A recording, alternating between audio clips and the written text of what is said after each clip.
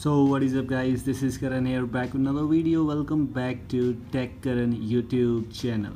We've installed TR camera latest 7.2 which is based on Gcam 7 and this one which I have installed right now is a stable version of TR camera V7 final what is TR camera? It's just an alternative of Gcam and if you have used the Gcam 7 versions like 7.0, 1, 2, 3 or the latest Gcam 7.4 then you know that what is TR cam. TR cam is also one of the best modded Gcams you can say and it has a lot of customization options, a great picture quality. You will surely love it. You should install this build right now on your device. So which are those things you get in TR camera and how's the camera performance make sure to watch this video till the end. Let's get started. Okay this is the UI of TR camera which we have just installed here. This is the ultra wide angle which you get here. And you can choose the ultra wide you can choose the normal things. We have the portrait mode we have the night sight we have this TR camera video mode and a lot more things all these things are pretty much great and maybe some features will not work on your device. It depends upon your device which device you have or whichever custom ROM you are using. It depends upon that.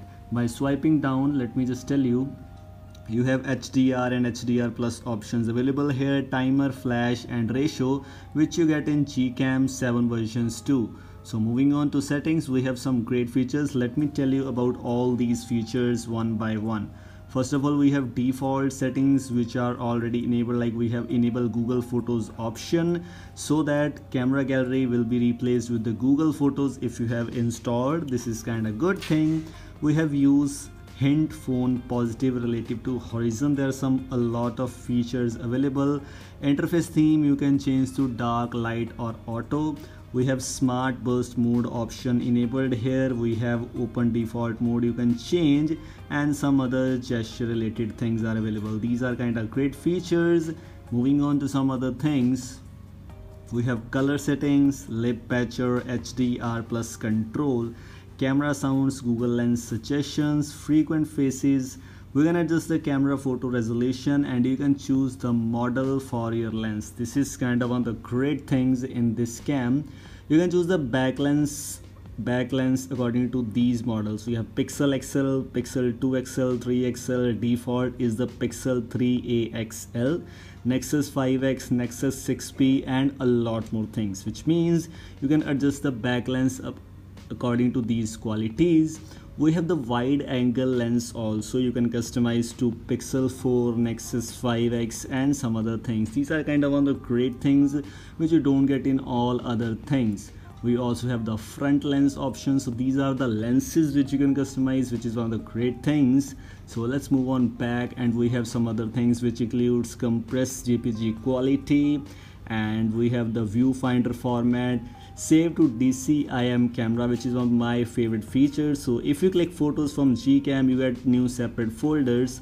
But when you click here then it will not create separate folders and it will restore it will store your images in the camera folder in DCIM folder which is a good thing. Disable zoom. And we have additional lenses option which means you can choose a wide angle lens camera id change these are kind of great features and you can customize a lot of things here. We have the tele macro photo lenses.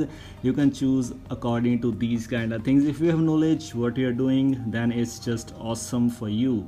Let's move on to some other things. We have some other things including let me just tell you we have the high resolution video which means you can enable the 4k mode if you want to this is kind of great thing. And one of the best thing is you can customize the xmls you can create your own xml here and you can just choose that xml to click photos. Or even if you don't have any xml you can download xmls from internet. You will find these xml very soon on telegram. I'll provide the link in the description for these kind of things these were the things in TR cam which I just want to share with you. This is about the TR camera which is one of the great camera and Gcam alternative available for your device.